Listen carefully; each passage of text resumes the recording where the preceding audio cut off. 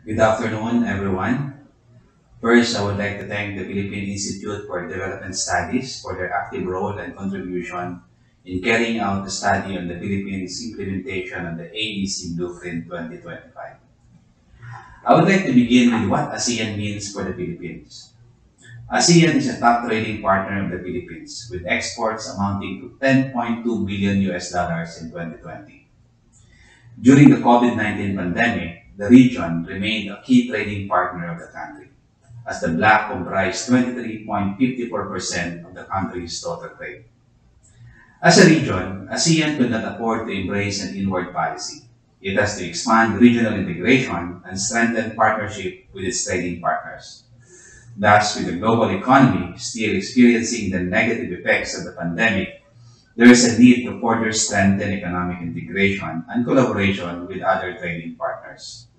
This approach will help mitigate the economic impact and disruptions to our people's health and livelihood and the economic activities in the region.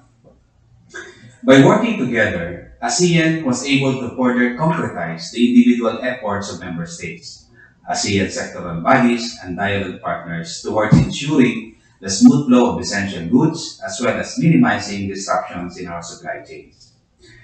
This cooperation was evident and instrumental in the development of the ASEAN Comprehensive Recovery Framework and the signing of the Memorandum of Understanding on the implementation of non-tariff measures on essential goods under the Hanoi Plan of Action on strengthening ASEAN economic cooperation and supply chain connectivity in response to the COVID-19 pandemic among others. ASEAN also provided an avenue for member states to discuss and recalibrate respective policies, especially on strengthening our supply chains in the new normal, to be more resilient to any similar situations and to promote complementarity in our regional supply chain connectivity. Now, what are the key accomplishments of the AEC that are important for the Philippines? The ASEAN Economic Community 2025 is an aspiration held by 10 ASEAN member states to be, by year 2025, a highly integrated and cohesive economy, a competitive, innovative, and dynamic ASEAN with enhanced connectivity and sectoral cooperation by remaining resilient, inclusive, people-oriented, and people-centered, and becoming a global ASEAN. In the establishment of a free trade area, ASEAN has been focusing on further facilitating trade in goods in the region. ASEAN has streamlined the origin certification and verification procedures for the granting of tariff preferences.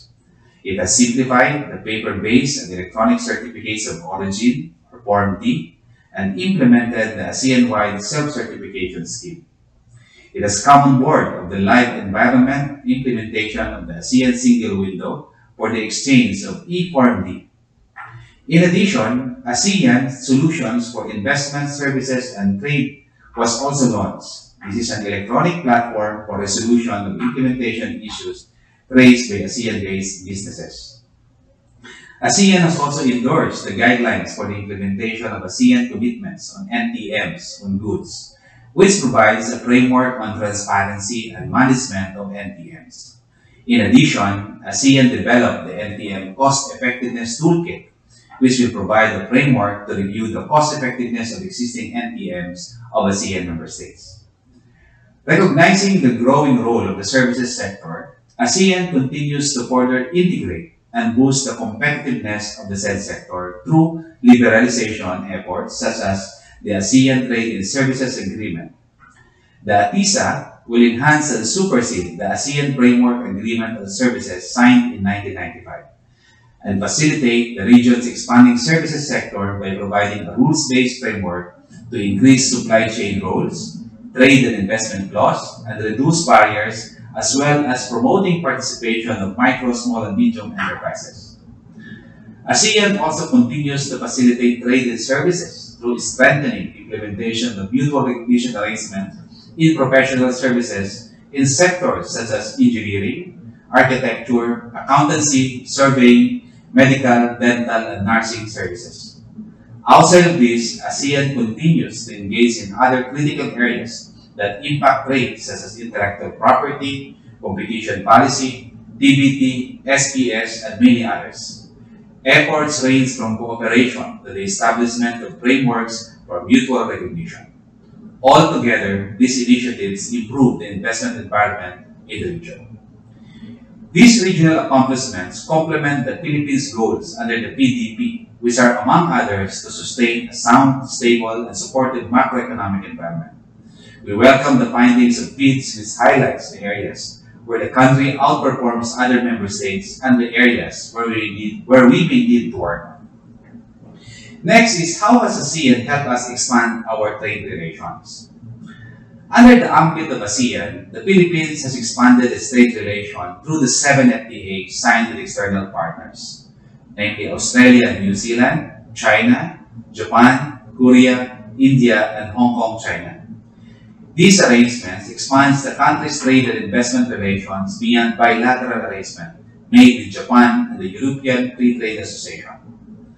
On November 15, 2020, the Philippines also signed the Regional Comprehensive Economic Partnership Agreement with ASEAN member states in Australia, China, Japan, Korea, and New Zealand. Considered as the world's largest trading bloc, the Philippines' participation in RCEP through ASEAN provides an opportunity to improve the country's trade balance, increase welfare, and lower poverty incidence as early as, early as its entry into force with significant improvements by 2030. Of course, ASEAN plus one FTAs will nonetheless coexist with the RCEP agreement and will continue to be implemented despite the latter's entry into force on January 1, 2022. Now, what are the areas for improvement that ASEAN particularly the Philippines, should focus on. We acknowledge the recommendation on the need to improve performance in the areas of competitiveness, innovation, and inclusive participation. Together with the inclusive, innovative industrial strategy, which the authors mentioned, the DTI is implementing the following programs to support local industries and businesses innovate, be competitive, and participate into the global value chains and they are one, shared services facilities. Second, ease of doing business. Third, doing business in free trade areas. Fourth, Philippine Halal Export Development and Promotion Program. Fifth, Philippine Export Competitiveness Program. Sixth, the Regional Interactive Platform for Philippine Exporter Plus or RIPPLES. Another program is She Trades Philippines Hub. And also Startup Pilipinas. Alongside the programs mentioned above, pursued by the national government, there are several economic reforms that have been undertaken and currently being done. The Philippines has already passed the Republic Act number 11534 or the CREATE law, which took effect on April 11, 2021. Other pending amendments such as the Public Service Act, Foreign Investment Act, Retail Trade Liberalization Act, and the Internet Transactions Act are in the pipeline and once passed are expected to encourage more investments in the country. On FDI, according to UNCTAD report, FDI in the Philippines rose by 29% in 2020 to 6.4 billion US dollars, backing the decline of the Southeast Asian neighbors of the world. The Philippines is among the very few countries which experience an increase in FDI, such as China, Japan, India, Sweden, Spain, and Israel.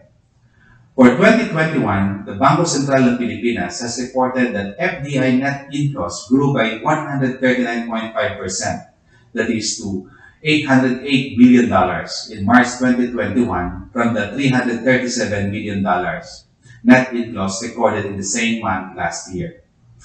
The favorable performance in March brought the cumulative FDI net inflows to $2.4 billion in the first quarter of 2021, higher by 45.1% than the $1.6 billion net inflows recorded in the same period last year. The increase in FDI was mainly due to the 113.2% growth in non-residents net investment in debt instruments to 1.4 billion US dollars from 671 million dollars. Likewise, reinvestment of earnings improved by 5.4% to 225 million dollars from 230 million dollars comparable year ago level. On research and development, the authors may want to note that the Philippines has a strong legal and institutional framework. Among others, we have the Philippine Innovation Act, Philippine Startup Act, Technology Transfer Act, and a comprehensive IP regime. To complement the implementation of the Innovative Startup Act, which was enacted in 2019, the DTI has established regional inclusive innovation centers in four pilot regions, namely Legazpi in Region 5, Cebu in Region 7, Cagayan de Oro in Region 10, and Davao in Region 11. In addition, there are currently 100 Innovation Technology Support Offices or Technology Innovation Support Centers located in various state universities and research institutions which support the research and development activities in the country. On IPR, the authors may want to note that according to the 2021 Global Innovation Index, Philippines ranks 51st out of 132 other economies. Despite going down a notch in the ranking, the country remained on the list of five nations that made significant progress in innovation performance over time, together with China, Turkey, Vietnam, and India. The Philippines ranked fourth among 34 lower middle income group economies and 11 among the 17 economies in Southeast Asia, East Asia, and Oceania.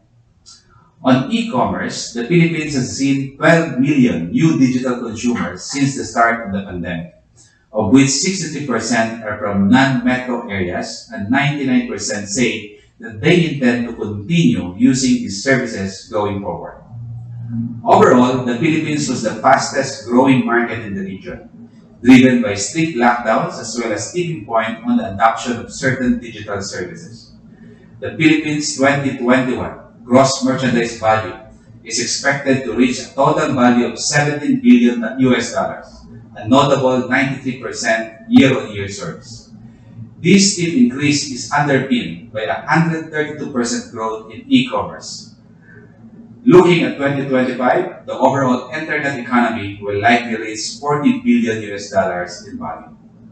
On energy, the authors may want to note that the target of ASEAN is to increase the component of renewable energy to 23% by 2025 consistent with the endorsed ASEAN Plan of Action for Energy Cooperation Strategy.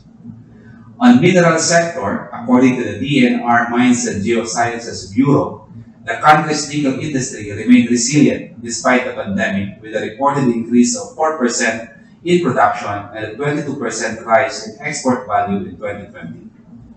The value of the nickel industry's direct shipping ore was 38.86 billion pesos in 2020, against the year earlier, which is at 31.79 million pesos.